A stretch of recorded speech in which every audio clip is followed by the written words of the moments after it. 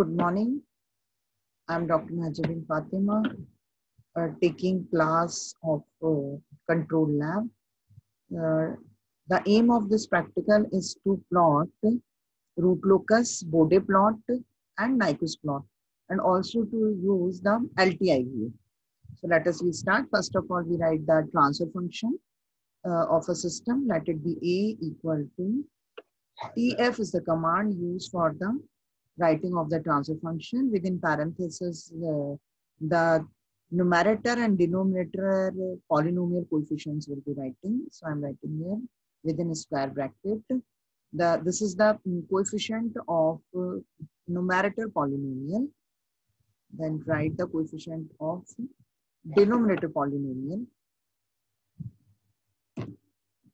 Now you can see this is the transfer function s plus 2 upon s square plus 2s plus 10. So I want to draw the root locus of this system. So the command is r locus within parentheses write the variable of the transfer function. This is a here. So I'm writing a here. Enter.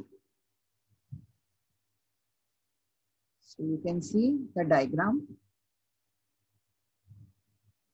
Yeah, now this is the diagram. This is showing the root locus of the this system of the given system. Uh, in the root locus, uh, see here, you can see here there is one zero and two poles are present here.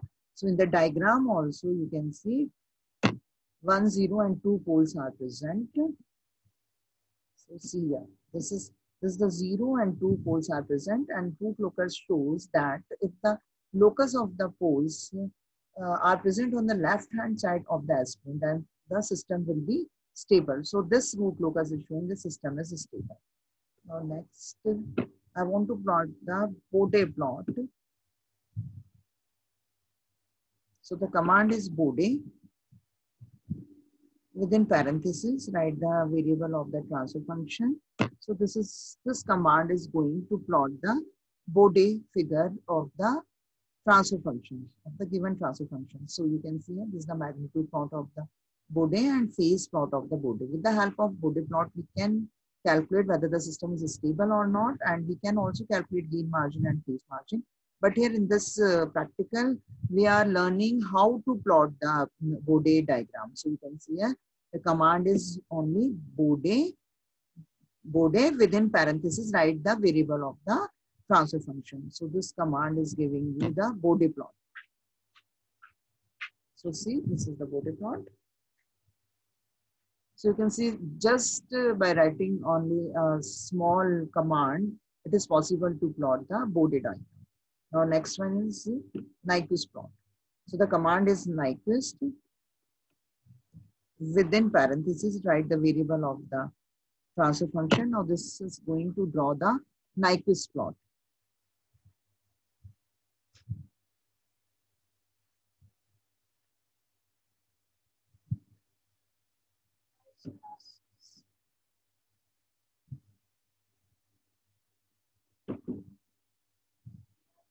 This is not clear so i'm writing it i'm writing in one one more time.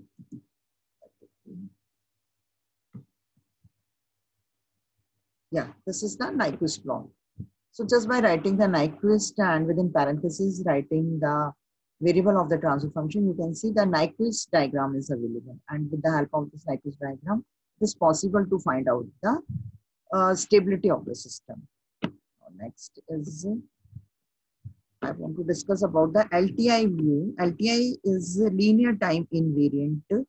With the help of this command, it is possible to draw the number of graphs simultaneously. So LTI view within parentheses, write the variable of the transfer function. See.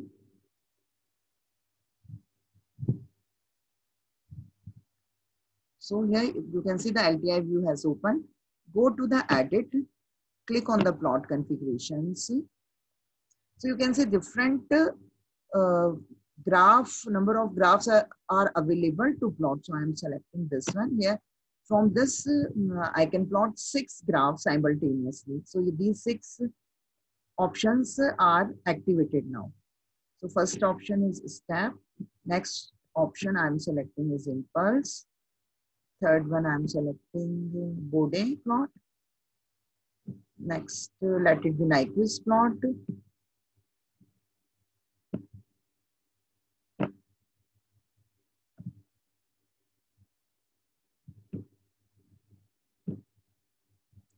Plot configurations are not coming here. So again, I'm writing LTI view within parentheses, a variable of the transfer function.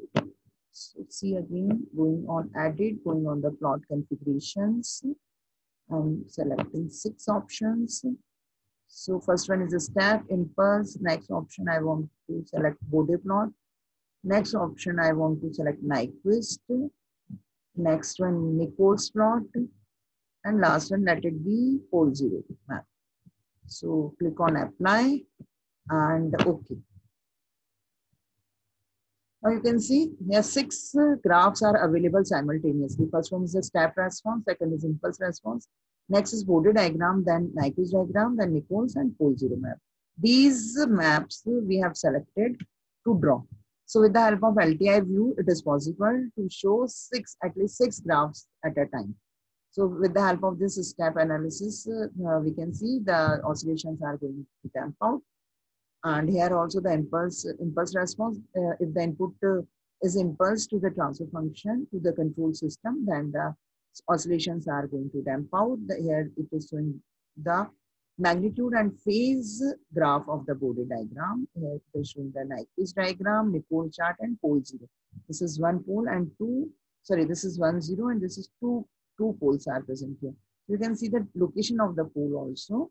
So see here it is written minus 1 plus pi and damping is 0.316. Overshoot is also calculated here 35.1% and frequency is also calculated. Here also, so you can see that all the, all these things, the location of the pole, damping, uh, overshoot and frequency. So with the help of these, with the help of these diagrams, it is possible to do the uh, easy calculation. Now, this completes this lecture. Thank you.